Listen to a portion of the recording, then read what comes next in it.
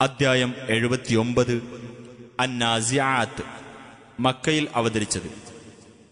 ആത്മാവുകളെ ഊരിയെടുക്കുന്ന മലക്കുകളെ സംബന്ധിച്ച് ഒന്നാം സൂക്തത്തിൽ പരാമർശിച്ചതിനാലാണ് ഈ അദ്ധ്യായത്തിന് ഇപ്രകാരം പേർ നൽകപ്പെട്ടത്. അവിശ്വാസികളിലേക്ക് ഇറങ്ങിച്ചെന്ന് അവരുടെ ആത്മാവുകളെ ഊരിയെടുക്കുന്നവ തന്നെയാണ് സത്യം. സത്യവിശ്വാസികളുടെ ആത്മാവുകളെ സൗമ്യതയോടെ പുറത്തെടുക്കുന്നവ തന്നെയാണ് സത്യം. ഊക്കോടെ ഒഴുകിവരുന്നവ തന്നെയാണ് സത്യം. എന്നിട്ട് മുന്നോട്ട് കുതിച്ചു പോകുന്നവ തന്നെയാണ് സത്യം. കാര്യം നിയന്ത്രിക്കുന്നവയും തന്നെയാണ് സത്യം. ആ നടുക്കുന്ന സംഭവം നടുക്കമുണ്ടാക്കുന്ന ദിവസം. അതിനെ തുടർന്ന് അതിന്റെ പിന്നാലെ മറ്റൊന്നും. ചില ഹൃദയങ്ങൾ അന്ന് വിറച്ചുകൊണ്ടിരിക്കും. അവയുടെ കണ്ണുകൾ അന്ന് കീഴ്പോട്ടു താഴ്ന്നിരിക്കും. അവർ പറയും തീർച്ചയായും നാം നമ്മുടെ മുൻസ്ഥിതിയിലേക്ക് മടക്കപ്പെടുന്നവരാണോ? നാം ജീർണിച്ച എല്ലുകളായി കഴിഞ്ഞാലും നമുക്ക് മടക്കമോ? അവർ പറയുകയാണ് അങ്ങനെയാണെങ്കിൽ നഷ്ടകരമായ ഒരു തിരിച്ചുവരവായിരിക്കും അത്. അത് ഒരേയൊരു ഘോര ശബ്ദം മാത്രമായിരിക്കും. അപ്പോഴതാ അവർ ഭൂമുഖത്തെത്തിക്കഴിഞ്ഞു.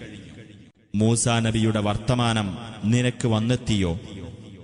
തുവ എന്ന പരിശുദ്ധ താഴ്വരയിൽ വെച്ച് അദ്ദേഹത്തിന്റെ രക്ഷിതാവ് അദ്ദേഹത്തെ വിളിച്ച് ഇപ്രകാരം പറഞ്ഞ സന്ദർഭം. നീ ഫിർ അവന്റെ അടുത്തേക്ക് പോകുക. തീർച്ചയായും അവൻ അതിരുകവിഞ്ഞിരിക്കുന്നു. എന്നിട്ട് ചോദിക്കുക നീ പരിശുദ്ധി പ്രാപിക്കാൻ തയ്യാറുണ്ടോ? നിന്റെ രക്ഷിതാവിങ്കലേക്ക് നിനക്കു ഞാൻ വഴി കാണിച്ചു തരാം. എന്നിട്ട് നീ ഭയപ്പെടാനും തയ്യാറുണ്ടോ? അങ്ങനെ മൂസ അവന് ആ മഹത്തായ ദൃഷ്ടാന്തം കാണിച്ചു കൊടുത്തു. അപ്പോൾ അവൻ നിഷേധിച്ചു തള്ളുകയും ധിക്കരിക്കുകയും ചെയ്തു. പിന്നെ അവൻ എതിർശ്രമങ്ങൾ നടത്തുവാനായി പിന്തിരിഞ്ഞുപോയി. അങ്ങനെ അവൻ തന്റെ ആൾക്കാരെ ശേഖരിച്ചു. എന്നിട്ട് വിളംബരം ചെയ്തു.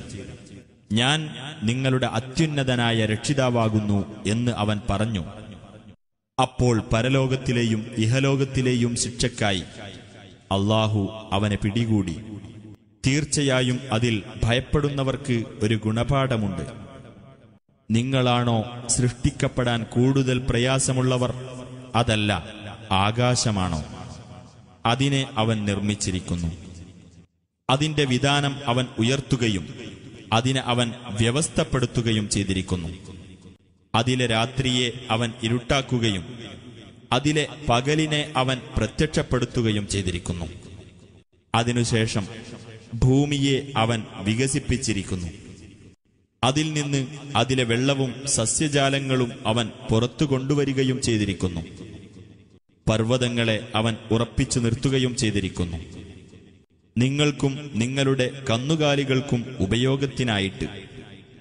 എന്നാൽ ആ മഹാവിപത്ത് വരുന്ന സന്ദർഭം. അതായത് മനുഷ്യൻ താൻ അധ്വാനിച്ചു വെച്ചതിനെപ്പറ്റി ഓർമ്മിക്കുന്ന ദിവസം. കാണുന്നവർക്കു വേണ്ടി നരകം വെളിവാക്കപ്പെടുന്ന ദിവസം. അന്ന് ആർ അതിരുകവിയുകയും ഇഹലോക ജീവിതത്തിന് കൂടുതൽ പ്രാധാന്യം നൽകുകയും ചെയ്തുവോ? അവന് കത്തിജ്വലിക്കുന്ന നരകം തന്നെയാണ് സങ്കേതം. അപ്പോൾ ഏതൊരാൾ തന്റെ രക്ഷിതാവിന്റെ സ്ഥാനത്തെ ഭയപ്പെടുകയും മനസ്സിനെ തന്നിഷ്ടത്തിൽ നിന്ന് വിലക്കി നിർത്തുകയും ചെയ്തുവോ അവന് സ്വർഗം തന്നെയാണ് സങ്കേതം. ആ അന്ത്യസമയത്തെപ്പറ്റി അതെപ്പോഴാണ് സംഭവിക്കുക എന്ന് അവർ നിന്നോട് ചോദിക്കുന്നു. നിനക്ക് അതിനെപ്പറ്റി എന്ത് പറയാനാണുള്ളത്? നിന്റെ രക്ഷിതാവിങ്കലേക്കാണ് അതിന്റെ കലാശം. അതിനെ ഭയപ്പെടുന്നവർക്ക് ഒരു താക്കീതുകാരൻ മാത്രമാണ് നീ. അതിനെ അവർ കാണുന്ന ദിവസം ഒരു വൈകുന്നേരമോ ഒരു പ്രഭാതത്തിലോ അല്ലാതെ അവർ ഇവിടെ കഴിച്ചുകൂട്ടിയിട്ടില്ലാത്ത പോലെയായിരിക്കും അവർക്ക് തോന്നുക.